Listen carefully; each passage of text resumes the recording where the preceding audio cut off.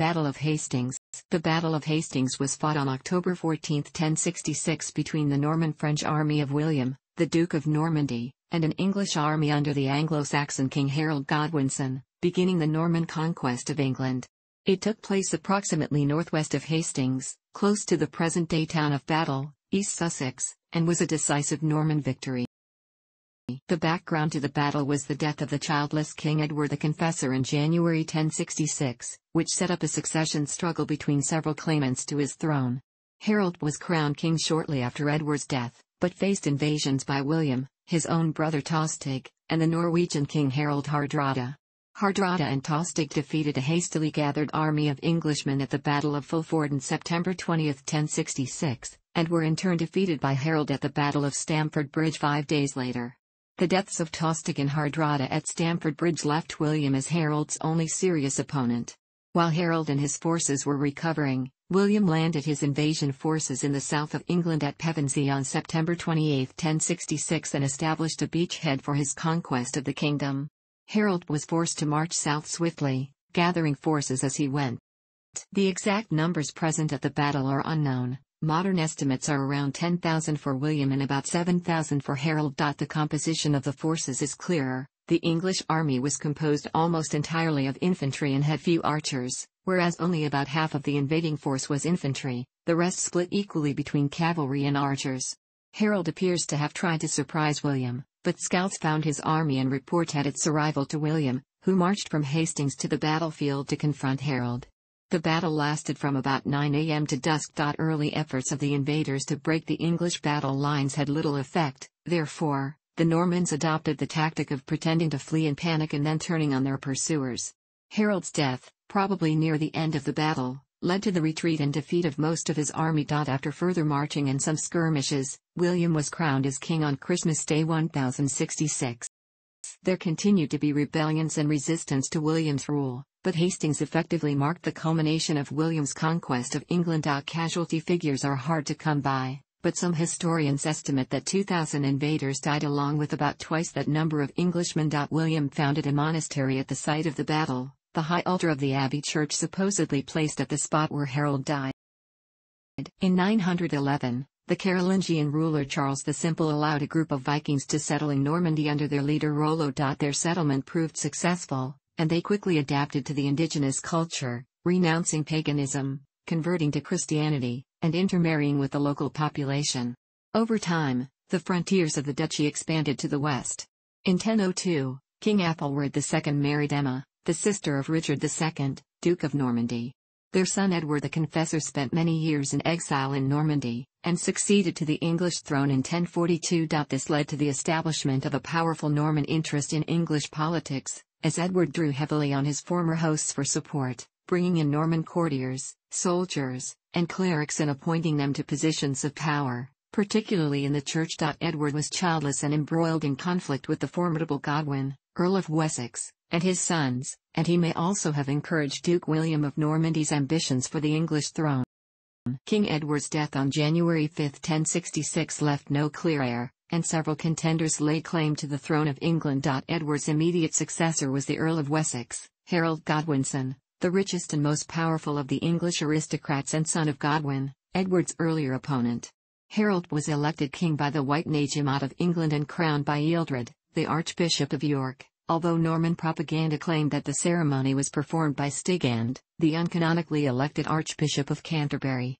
Harold was at once challenged by two powerful neighboring rulers, Duke William claimed that he had been promised the throne by King Edward and that Harold had sworn agreement to this. Harold Hardrada of Norway also contested the succession. His claim to the throne was based on an agreement between his predecessor Magnus the Good and the earlier King of England Harthacnut, whereby, if either died without heir, the other would inherit both England and Norway. William and Harold Hardrada immediately set about assembling troops and ships for separate invasions. In early 1066, Harold's exiled brother Tostig Godwinson raided southeastern England with a fleet he had recruited in Flanders, later joined by other ships from Orkney. Threatened by Harold's fleet, Tostig moved north and raided in East Anglia and Lincolnshire. He was driven back to his ships by the brothers Edwin, Earl of Mercia and Morcar, Earl of Northumbria. Deserted by most of his followers, he withdrew to Scotland, where he spent the middle of the year recruiting fresh forces. Hardrada invaded northern England in early September, leading a fleet of more than 300 ships carrying perhaps 15,000 men. Hardrada's army was further augmented by the forces of Tostig, who supported the Norwegian king's bid for the throne. Advancing on York, the Norwegians occupied the city after defeating a northern English army under Edwin and Morcar on 20 September at the Battle of The English army was organized along regional lines, with a fyrd, or local levy, serving under a local magnate, whether an earl, bishop, or sheriff. The fyrd was composed of men who owned their own land, and were equipped by their community to fulfill the king's demands for military forces. For every five hides, or units of land nominally capable of supporting one household, one man was supposed to serve. It appears that the hundred was the main organizing unit for the fyrd. As a whole, England could furnish about 14,000 men for the fyrd, when it was called out. The fyrd usually served for two months, except in emergencies. It was rare for the whole national fyrd to be called out. Between 1046 and 1065 it was only done three times, in 1051, 1052, and 1065. The king also had a group of personal armsmen, known as housecarls, who formed the backbone of the royal forces. Some earls also had their own forces of housecarls. Thence, the local landowning elites, either fought with their royal housecarls or attached themselves to the forces of an earl or other magnate. The fyrd and the housecarls both fought on foot, with a major difference between them being the housecarls' superior armor. The English army does not appear to have had a significant number of archers. Harold had spent mid-1066 on the south coast with a large army and fleet waiting for William to invade. The bulk of his forces were militia who needed to harvest their crops, so on 8 September Harold dismissed the militia and the fleet. Learning of the Norwegian invasion he rushed north, gathering forces as he went, and took the Norwegians by surprise, defeating them at the Battle of Stamford Bridge on 25 September. Harold Hardrada and Tostig were killed, and the Norwegians suffered such great losses that only 24 of the original 300 ships were required to carry away the survivors. The English victory came at great cost, as Harold's army was left in a battered and weakened state. William assembled a large invasion fleet and an army gathered from Normandy and the rest of France, including large contingents from Brittany and Flanders. He spent almost nine months on his preparations, as he had to construct a fleet from nothing. According to some Norman chronicles, he also secured diplomatic support, although the accuracy of the reports has been a matter of historical debate. The most famous claim is that Pope Alexander II gave a papal banner as a token of support, which only appears in William of Poitiers' account, and not in more contemporary narratives. In April 1066 Halley's comet appeared in the sky, and was widely reported throughout Europe. Contemporary accounts connected the comet's appearance with the succession crisis in England. And William mustered his forces at St. Valery-sur-Somme, and was ready to cross the English Channel by about 12th of August. But the crossing was delayed, either because of unfavorable weather or to avoid being intercepted by the powerful English fleet. The Normans crossed to England a few days after Harold's victory over the Norwegians, following the dispersal of Harold's naval force, and landed at Pevensey in Sussex on 28 September. A few ships were blown off course and landed at Romney, where the Normans fought the local fyrd. After landing, William's forces built a wooden castle at Hastings, from which they raided the surrounding area. More fortifications were erected at Pevensey. The exact numbers and composition of William's force are unknown. A contemporary document claims that William had 776 ships, but this may be an inflated figure. Figures given by contemporary writers for the size of the army are highly exaggerated varying from 14,000 to 150,000. Modern historians have offered a range of estimates for the size of William's forces 7,000 to 8,000 men, 1,000 to 2,000 of them cavalry, 10,000 to 12,000 men, 10,000 men, 3,000 of them cavalry, or 7,500 men. The army consisted of cavalry, infantry, and archers or crossbowmen, with about equal numbers of cavalry and archers and the foot soldiers equal in number to the other two types combined. Later lists of companions of William the Conqueror are extant, but most are padded with extra names. Only about 35 named individuals can be reliably identified as having been with William at Hastings. The main armor used was chainmail hauberks, usually knee length, with slits to allow riding, some with sleeves to the elbows. Some hauberks may have been made of scales attached to a tunic, with the scales made of metal, Horn or hardened leather. Headgear was usually a conical metal helmet with a band of metal extending down to protect the nose. Horsemen and infantry carried shields. The infantryman's shield was usually round and made of wood, with reinforcement of metal. Horsemen had changed to a kite-shaped shield and were usually armed with a lance. The couch lance, carried tucked against the body under the right arm, was a relatively new refinement and was probably not used at Hastings. The terrain was unfavorable for long cavalry charges. Both the infantry and cavalry usually fought with a straight sword, long and double-edged. The infantry could also use javelins and long spears. Some of the cavalry may have used a mace instead of a sword. Archers would have used a self-bow or crossbow, and most would not have had armor. After defeating his brother Tostig and Harold Hardrada in the north, Harold left much of his forces in the north, including Morcar and Edwin, and marched the rest of his army south to deal with the threatened Norman invasion. It is unclear when Harold learned of William's landing, but it was probably while he was traveling south. Harold stopped in London, and was there for about a week before Hastings, so it is likely that he spent about a week on his march south, averaging about per day, for the approximately Harold camped at Caldbec Hill on the night of 13th of October, near what was described as a hoary apple tree. This location was about from William's castle at Hastings. Some of the early contemporary French accounts mention an emissary or emissaries sent by Harold to William, which is likely. Nothing came of these efforts. Although Harold attempted to surprise the Normans, William's scouts reported the English arrival to the Duke. The exact events preceding the battle are obscure, with contradictory accounts in the sources, but all agree that William led his army from his castle and advanced towards the enemy. Harold had taken a defensive position at the top of Senlac Hill, about from William's castle at Hastings. The exact number of soldiers in Harold's army is unknown. The contemporary records do not give reliable figures, some Norman sources give 400,000 to 1,200,000 men on Harold's side. The English sources generally give very low figures for Harold's army, perhaps to make the English defeat seem less devastating. Recent historians have suggested figures of between 5,000 and 13,000 for Harold's army at Hastings, and most modern historians argue for a figure of 7,000 to 8,000 English troops. These men would have been a mix of the Fyrd and Housecarls. Few individual Englishmen are known to have been at Hastings, about 20 named individuals can reasonably be assumed to have fought with Harold at Hastings, including Harold's brothers Gyrth and Leofwine and two other relatives the English army consisted entirely of infantry. It is possible that some of the higher class members of the army rode to battle, but when battle was joined they dismounted to fight on foot.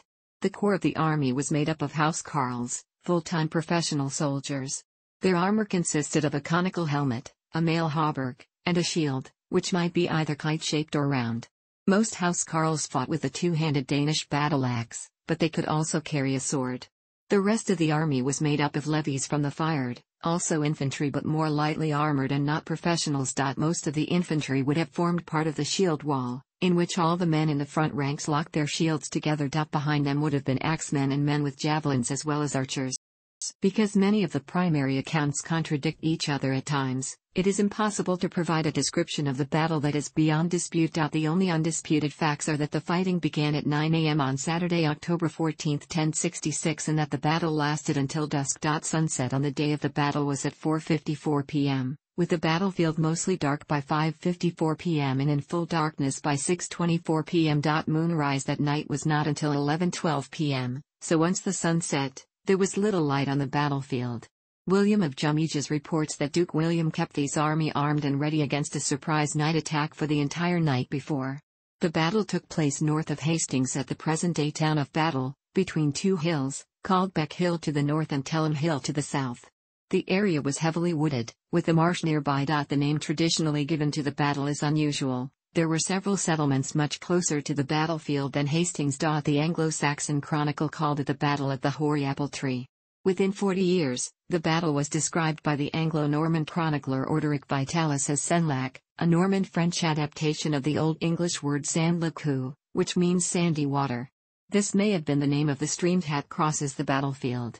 The battle was already being referred to as Bellum Hastings or Battle of Hastings by 1087, in the Domesday Book. Sunrise was at 6:48 a.m. that morning, and reports of the day record that it was unusually bright. The weather conditions are not recorded. The route that the English army took to the battlefield is not known precisely. Several roads are possible, 1. An old Roman road that ran from Rochester to Hastings has long been favored because of a large coin hoard found nearby in 1876. Another possibility is a Roman road between London and Lewes and then over local tracks to the battlefield. Some accounts of the battle indicate that the Normans advanced from Hastings to the battlefield, but the contemporary account of William of Jumièges places the Normans at the site of the battle the night before. Most historians incline towards the former view, but M. K. Lawson argues that William of Jumièges' account is correct.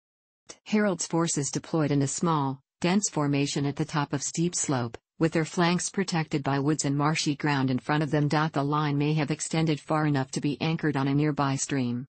The English formed a shield wall, with the front ranks holding their shields closer together or even overlapping to provide protection from attack.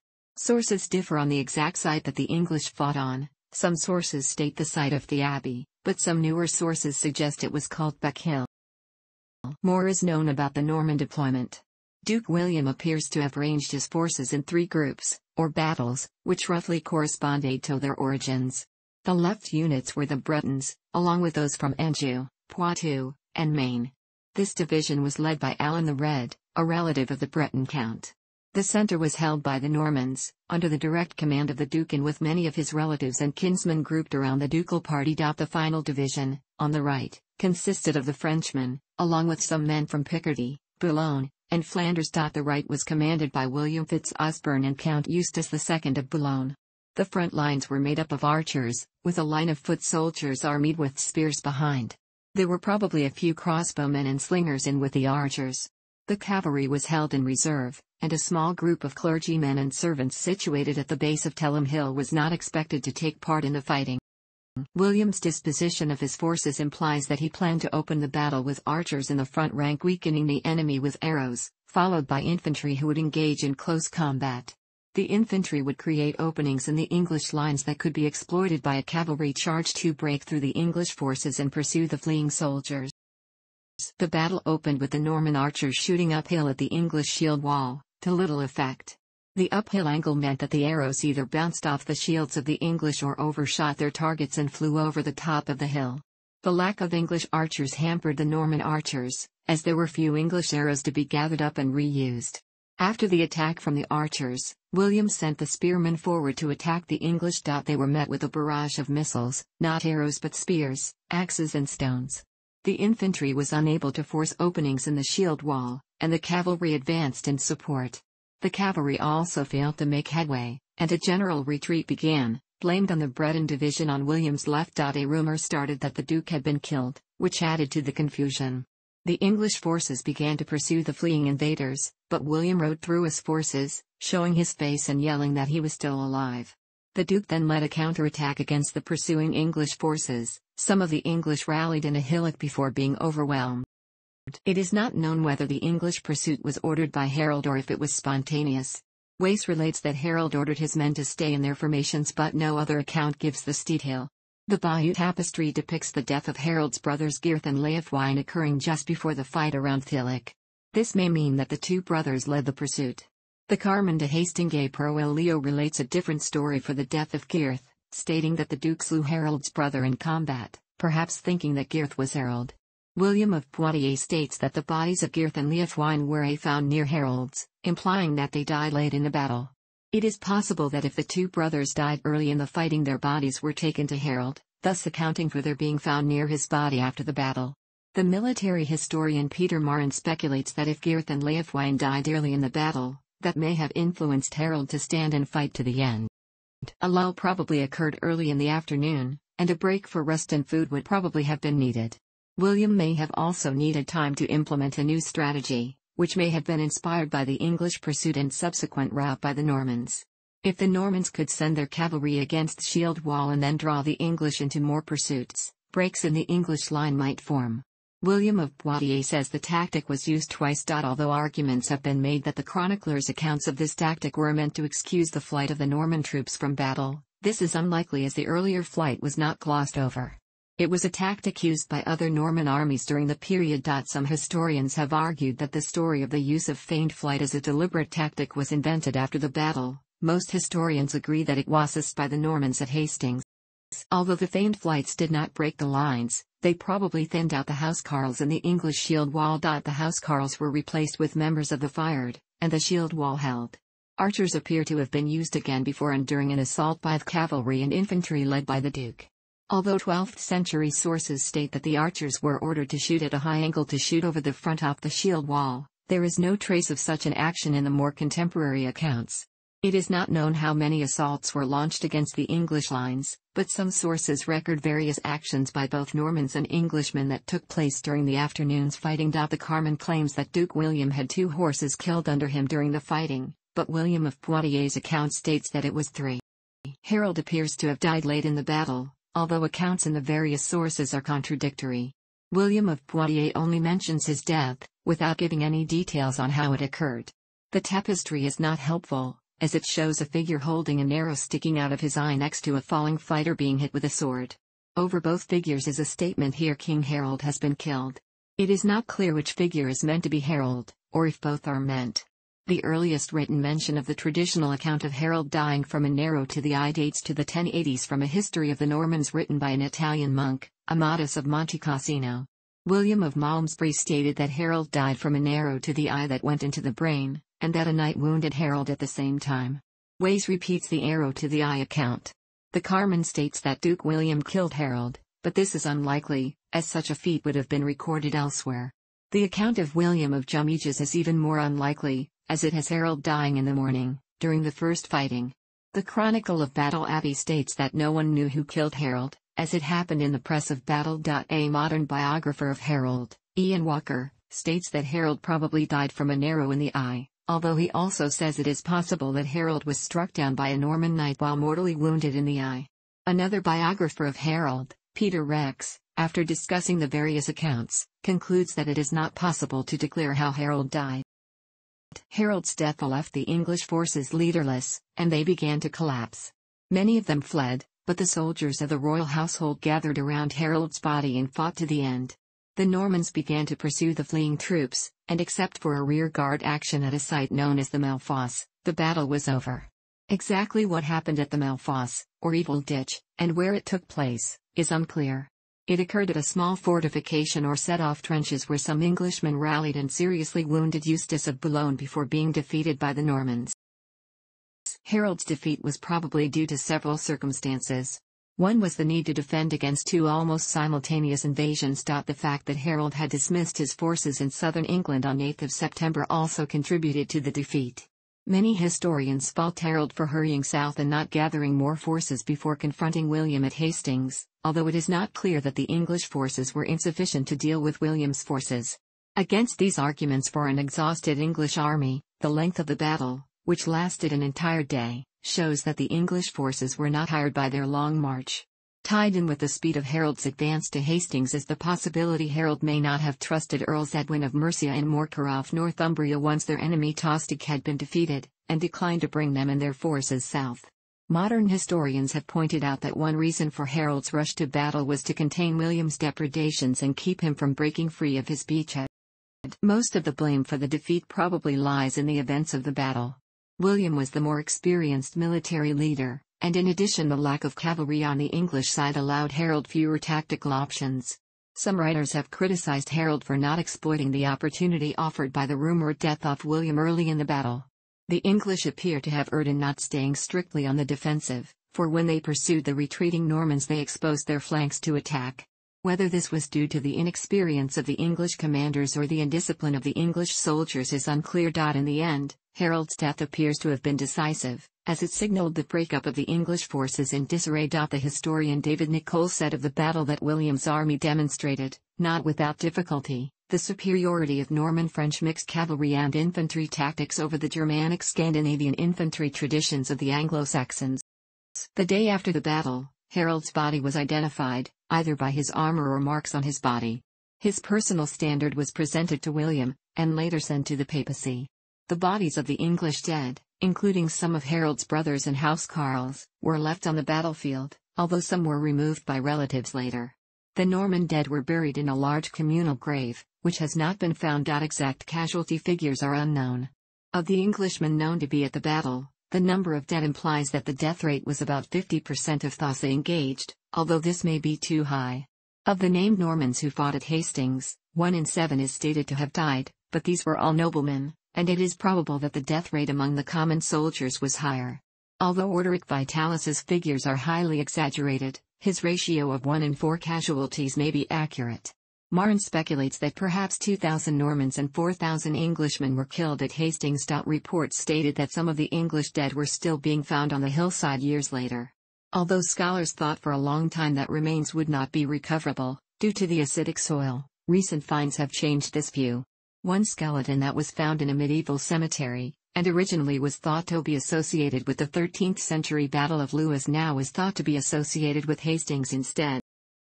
One story relates that Githa, Harold's mother, offered the victorious duke the weight of her son's body in gold for its custody, but was refused. William ordered that Harold's body be thrown into the sea, but whether that took place is unclear. Another story relates that Harold was buried at the top of a cliff. Waltham Abbey, which had been founded by Harold, later claimed that his body had been secretly buried there. Other legends claim that Harold did not die at Hastings, but escaped and became a hermit at Chester. William expected to receive the submission of the surviving English leaders after his victory, but instead Edgar the Atheling was proclaimed king by the Witenagemot, with the support of Earls Edwin and Morcar, Stigand, the Archbishop of Canterbury, and Ealdred, the Archbishop of York. William therefore advanced on London, marching around the coast of Kent.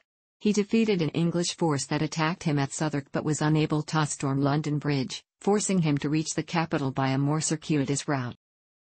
William moved up the Thames Valley to cross the river at Wallingford, where he received the submission of Stigand.